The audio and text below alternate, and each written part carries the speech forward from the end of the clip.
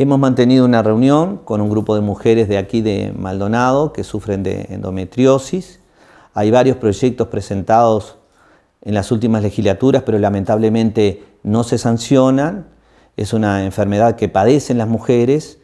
muy dolorosa y que necesariamente eh, se hace más que urgente su sanción en el Parlamento. Al día de hoy está en la Comisión de Salud, prácticamente está terminando la legislatura y creemos y comprendemos ese reclamo que además se está llevando adelante por otro grupo de mujeres en, Montevideo, ¿verdad? Y frente a las autoridades, a los diputados y, senadores, concretamente en la Comisión de Salud del Senado. Debemos decir este, claramente que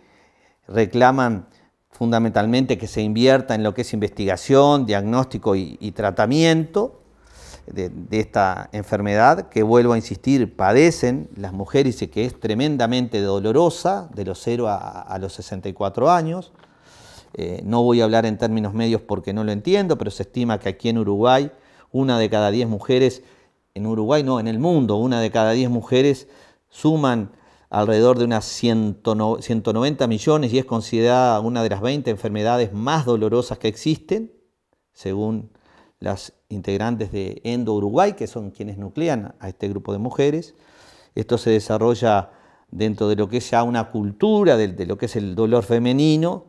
y bueno, son dolores que, realmente y situaciones que realmente ameritan un, diagnóstico y, como lo dije, un marco normativo urgente. Hay varios testimonios, porque lo dije, eh, atraviesa todas las edades, y bueno, la importancia de la ley es justamente para que este, eh, esta enfermedad se declare de, interés nacional, lo que es el estudio de la endometriosis y lo que incluye además la, investigación. De, los agentes causales, promover, prevenir, tratar de avanzar en el diagnóstico, en el tratamiento oportuno y, la rehabilitación. Creemos que el Ministerio de Salud Pública, a través del marco del Sistema Nacional Integrado de Salud, debe en su momento lo, anunció, este, impulsó un programa referido precisamente a esta enfermedad, con la prestación tanto de prestadores públicos como privados, para que, bueno, justamente se comenzara a, trabajar y vuelvo a insistir, en una enfermedad tremendamente dolorosa como lo es, que se busque realmente una solución o por lo menos lo que debe ser una mejora en la calidad de vida en esta iniciativa que, como lo dije, es reconocida como la tercera que se presenta en el Parlamento en los últimos tres años y que lamentablemente no logra la sanción respectiva.